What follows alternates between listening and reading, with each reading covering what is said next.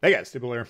Today we got a game in the Tier 5 French Destroyer, the Guep. I got Violet on this build here. You can actually go with both uh, commanders. Old Bueno is going to be a little bit more torpedo focused, and Violet a little bit more on the guns, uh, but then you can mix in kind of a anti-dispersion build as well. We got a new Dawn capture the base mode game here. I'm going to, haven't covered the French Destroyers for a little while. I'm going to kind of go over their state. Uh, of a the state of the union, I guess, of the the French destroyers at this current time. Um, first off, what do they do? Well, they tend to be very fast, uh, and typically the fastest destroyers out there. Typically tend to have a lot of health. Uh, they typically have medium range uh, torpedoes that, as you go up the tiers, go faster and faster, and they usually hit pretty hard. Guns, I'd say the guns usually are on the slightly below average side of the equation. Uh, you can have some problems with firing angles, as we're demonstrating here with the Guep. Uh, to show a full broadside or a full salvo, you got to go almost broadside. Uh, they're slower. You know, they hit fine. Uh, starting at the Guep, the tier 5, you do have that reload booster, which can change the guns from below average to above average temporarily. So if you can use that reload booster in a 1v1 destroyer fight, for instance, that can often uh, turn the tide in your favor. So there's a lot of tools that the French destroyers have. In fact, they can be quite potent offensively, no doubt about it. The problem they have, check the consumables, there's no smoke, and that was a difficult thing to deal with when the line was introduced. Now, if you play them carefully, like any other destroyer, you know, you don't necessarily need the smoke at all times, but for me, uh, I tend to be relatively aggressive in my destroyer play, and having a couple uh, escape hatches loaded onto the ship, not a bad thing. Okay, so it can the smoke I view mainly defensively. On certain ships, you know, you can always use it offensively as a destroyer, I guess you, you could say, but uh, typically I would try and reserve the smokes for situations where I'm either in serious trouble or, uh, you know, we need to disengage at the very least or get out of there. So, not having that was a problem. And then along came carriers, and the lack of the smoke and the fact that we have probably the worst AA outside of the Japanese destroyers out of any of the destroyer lines, uh, it becomes an issue. Okay, and especially if you're going against a carrier player who knows what they're doing.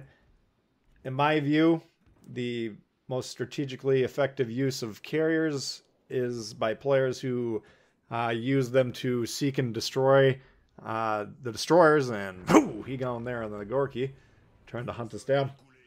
Uh, you know, if they can use their carriers to kind of hover over the destroyers, spot them, hope the team actually shoots them, even chime in with the torpedoes, the bombs, get those destroyers off there, uh, then the carrier effectively, you know, you gain a signals intelligence uh, dominance, right? You can control the spotting on the game. You can use your own destroyers to capture bases if done properly, the carriers can be strategically uh, quite significant. So going against that in a destroyer who can't shoot the planes down and really can't run from them once they find you, that's an issue. Okay, so in that regards, I don't know how viable the French destroyers are in this day and age. You can still have good games with them, but in terms of viewing it from okay, I'm trying to preserve or increase a win rate uh, on my account what I want to grind the piss out of. I'm not going to go pick uh, French destroyers to lead the charge.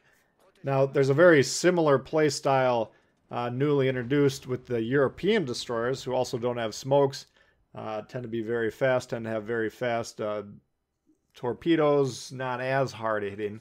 Uh, guns, you know, middle of the pack. Similar overall characteristics uh, with the French, probably a little bit less health in general, if I recall off the top of my head. The main difference is, however, these Europeans uh, have anywhere from good anti-aircraft uh, systems to excellent.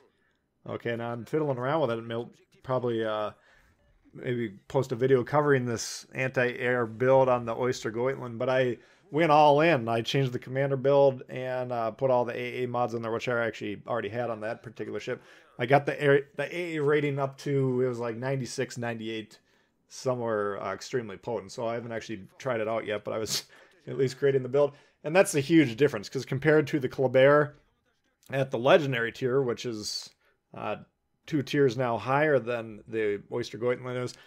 Uh, that one, I think, on my build has a 46 uh, rating on the anti-aircraft suites, which is not good in comparison. So we can only imagine what the legendary tier European destroyer is going to be, but it should, if it's comparable to the PC version, uh, just shred the planes, which is outstanding. So, you know, in my view, why pick the French? And I'm sure there's going to be French destroyer players or destroyer players in general that are disagreeing with what I'm saying. And I'm not saying the French destroyers are completely bogus or you can't have success with them.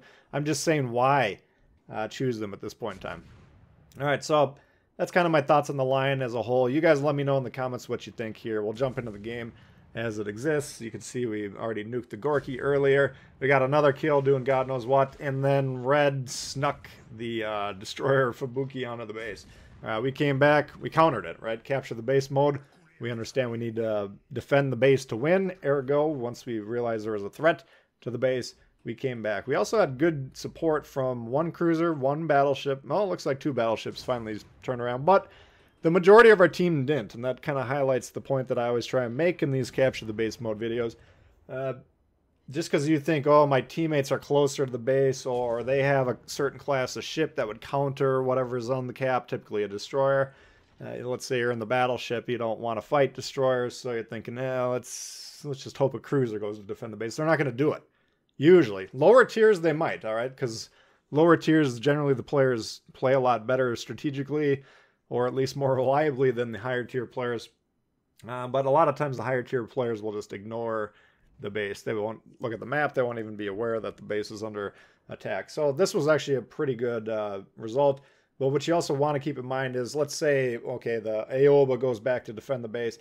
If I'm seeing that on the map, I don't want to sit back and say, okay, he's got it. Cruiser's got this. Because he can always catch a torp, right? Any ship can catch a torp.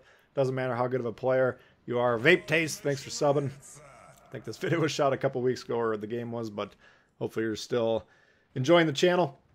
Uh, but anyway, the point is don't just say, okay, that looks like our team's got it, because you don't want to be losing these games. The most frustrating game uh, to lose in World of Warships Legends is capture the base mode where you have three, four, five uh, ship advantage, right? You're kicking the crap out of them, but they get someone on your base and nobody defends it. That will piss you off uh, if you care about winning whatsoever, it's the worst feeling you can have. So once that happens to you enough, then you just need to learn, okay, I need to defend the base almost every time. Unless the situation very specifically dictates that you do something else, that's generally your responsibility. Okay. Anyway, uh, we did a good job there. We did clear the threat. The rest of Reds kind of hanging around here now. We got three kills here. We got, you know, well, hey, look at that. We got a fourth kill. We got the torpedoes striking on that Koenig who was plugging up the gut, or up the middle, up the gut. And now we're starting to think, okay, Kraken time. We got two battleships.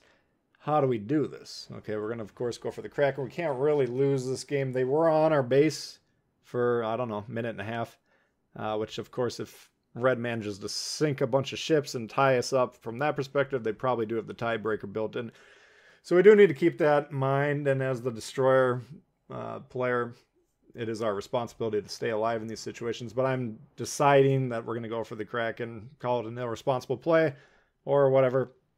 Nevertheless, that's what we're going to go for. So we're going to go steam right at them. And this is kind of what you want to be doing if you are in the market for uh, deploying a suicide rush, which most of you guys are, let's be honest.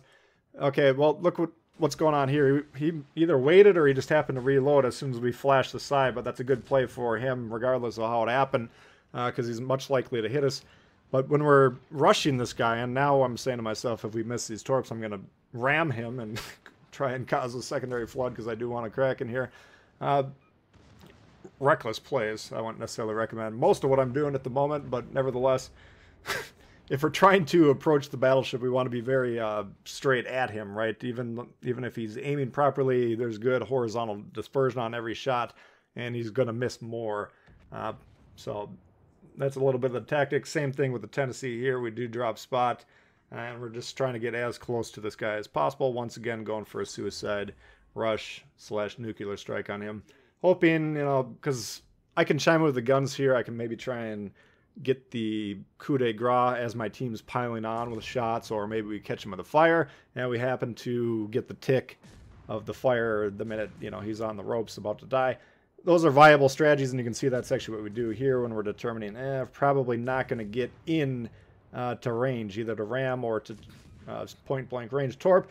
And this is actually probably a more reliable, you know, shot. We're getting good damage on the superstructure you got to get lucky. Your team's going to try and get the kills as well, but there we do get the Kraken. So that's a look at the Guepard for you guys. Hope you did enjoy it. If you did, please hit the thumbs up. New to the channel, consider subscribing. Lots of World of Warships coming for you all the time. Questions, comments, leave them below. Love to hear from you, and we'll see y'all later. All right, peace.